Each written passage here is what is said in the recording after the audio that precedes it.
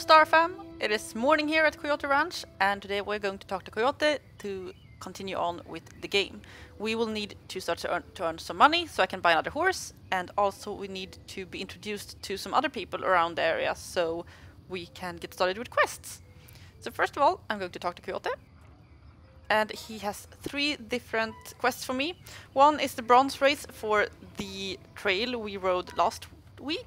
I will not do that right now because I would like to have a slightly faster horse before that. But we can check the notice board to make sure that we can earn some money. Because as it is in all other stables in the games, we can earn money by going to notice boards, we can accept some uh, daily tasks and then complete them to earn some money. And we can do the tasks as many times as we want to because there's no real day-night cycle here. I can sleep overnight anytime I want and like start a new day.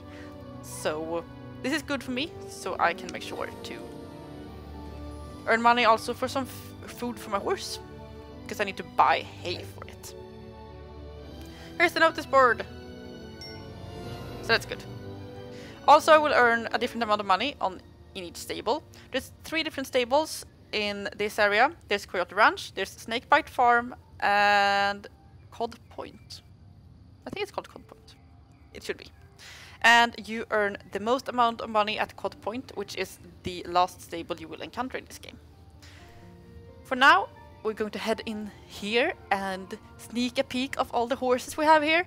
Of course, we have more horses in this game. This is only the five horses we have here at Coyote Ranch. There are more horses at Snakebite Farm and at Cod Point.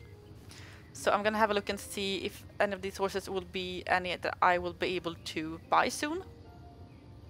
We have an Azteca. Uh, a level 4 horse at 850 stable points. I will not buy the Azteca because of the very slow speed. If we compare it to the horse I have today, it's better. But I'm not. I don't think it's worth it since strength is so low and the discipline is very low. And as you know, if you have watched the previous videos in this series, I do not enjoy riding a horse with low discipline. So sorry Azteca, this, I think, should be a Colorado Ranger. Yep. Way better. Way better. But also it's a level 6 horse. And it will take me a while to reach level 6. So, we'll see. I think this is a cool horse. I love the color. I've never owned it in this game before. But it could be fun, I guess. I really like having Appaloosa blanket horses. Here we have... I have no idea what you are. A Morab. Oh, discipline is off the stats. Like, wow, that's so good. Really good speed as well. This, this could be a final horse for me. Like, this is a really good one. Uh, level 8, though. And I will not reach level 8 for quite a while. So I might have to return here if I want this horse.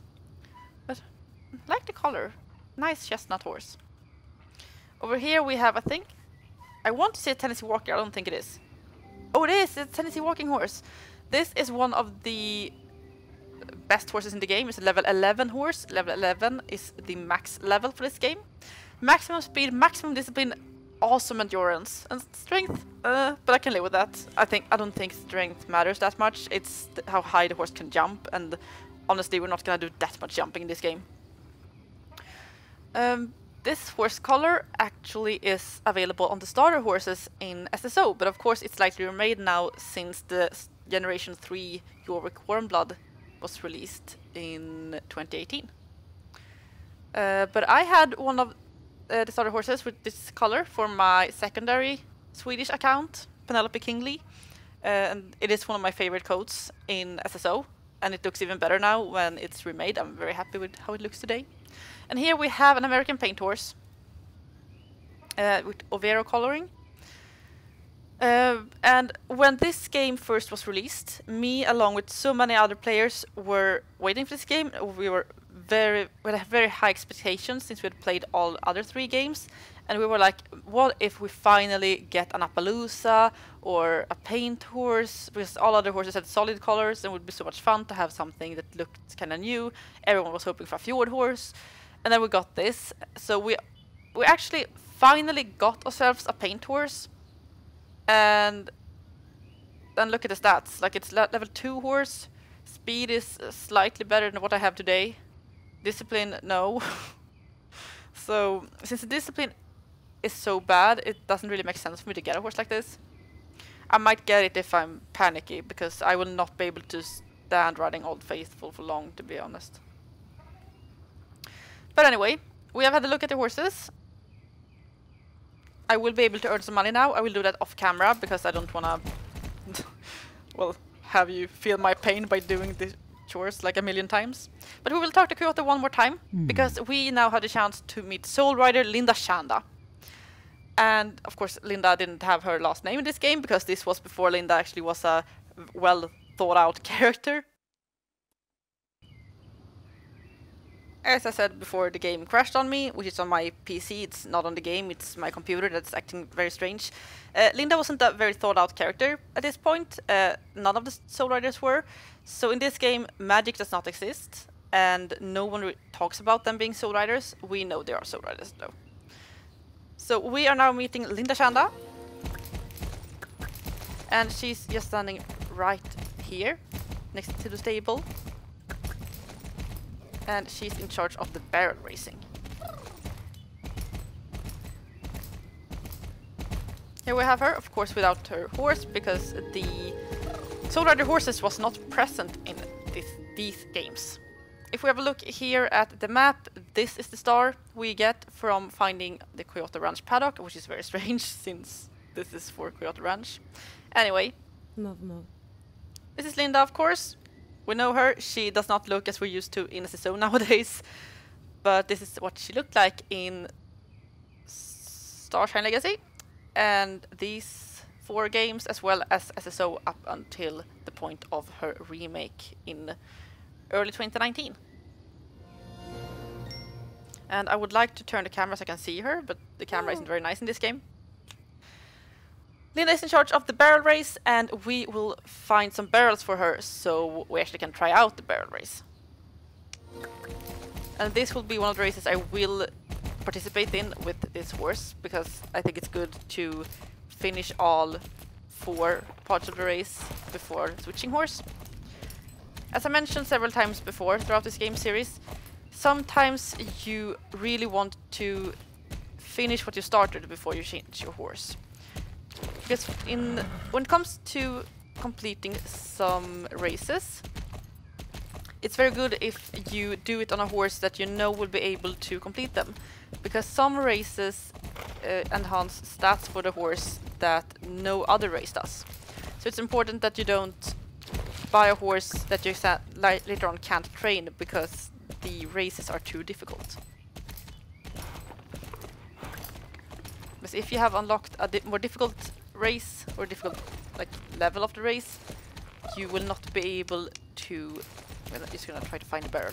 You will not be able to go back and do one of the easier races. As you can see over there, we have a castle. It's not Silverglade Castle, even though you might think it is. We will visit it later, so we will talk about it in a later episode. But for today, I think it will be enough for us to help Linda build her barrel racing course.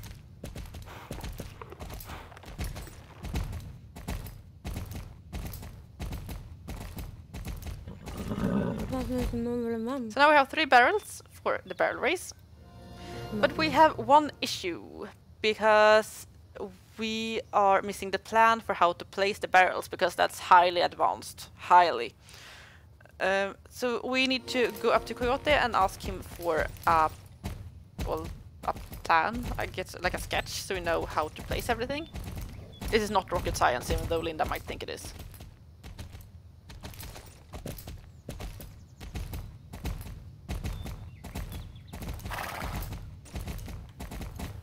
Hmm. Are we done with helping Linda? No, we need the barrel racing course. Dårlig med å koble. So here it is, and we will take it back to Linda, and then we can arrange the barrel racing course. So you can see here that we have it here, barrel racing plan. And now when we bring it to Linda, she'll of course ask us to help her place the barrels.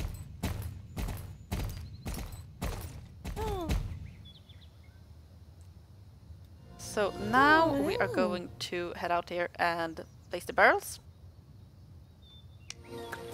And it's very easy to see where they are supposed to be because you have those cones in the way. So yeah, this is incredibly difficult. As you can see, we really need a sketch in order to be able to place those. And then we're done. Yeah. So let's head back to Linda.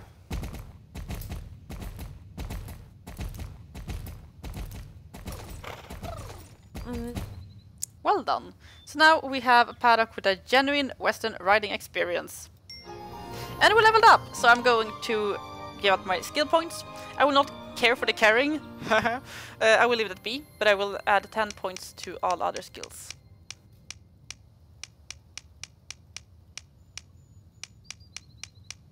That's good. There we go. And with that, I will also end off the episode. Because we have had enough adventures for one day, and I need to prep for other things going on. So, thank you all so much for watching. If you haven't done so already, don't forget to subscribe to see more horse games coming every single week. And if you liked the video, don't forget to leave a like and also leave a comment if you want to discuss anything going on today. That's all for this time, and I hope to see you all next time.